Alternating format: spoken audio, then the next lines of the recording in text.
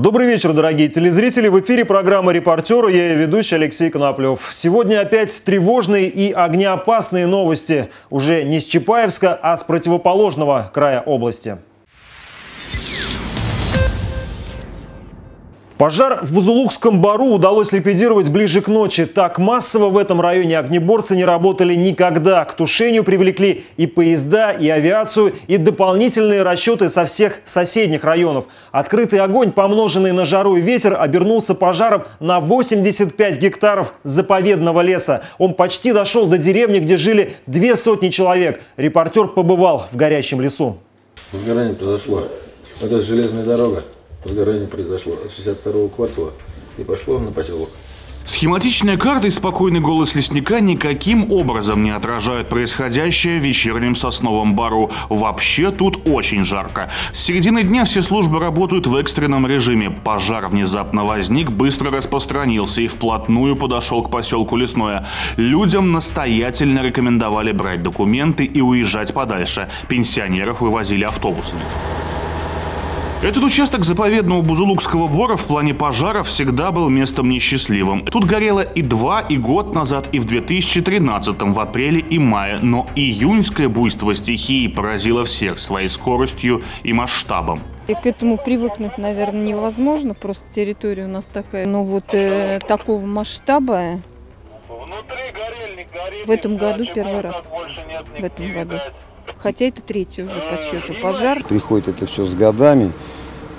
Раньше мы как-то ждали вертолета, самолета. В, этом, ну, в этот раз, то есть уже у нас отработано, когда автоматизм. То есть прибыла вся техника, была задействована вся возможная техника.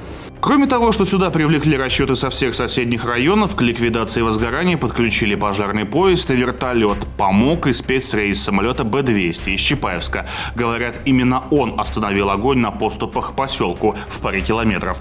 После этого людям разрешили вернуться обратно в свои дома. Сработали слаженно, что мы сегодня наблюдали. Пожар на данный момент локализован, ведется окрауливание с дотушиванием. Э, сотрудники национального парка расставлены по периметру пожара. Все под контролем.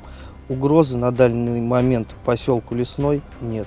Чтобы убедиться в этом, репортер отправляется в тлеющий, местами горящий ночной лес. Тушение идет бойко, но есть риск, что процесс может затянуться и перейти в режим отличный от экстренного. Работать придется 24 часа в сутки, скорее всего 7 дней в неделю. Потушить быстро 85 гектаров хвойного леса невозможно полностью нет, все равно некоторое задымление, оно так и будет происходить, понимаете? То есть вот эти вот старые пни, то есть корни, да, они все высшие, то есть корень ушел вглубь, он тлеет, тлеет, тлеет, а там он может 5-10 метров быть. Он раз и где-нибудь потом выскочит. Так что здесь еще долго работать придется.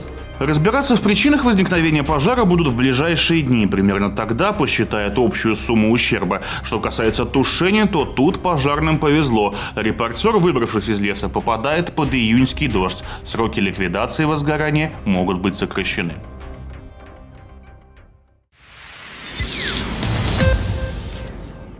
Надеюсь, эта трудная неделя завершится приятным для вас пятничным вечером. В понедельник подведем итоги этих семи дней. Пока.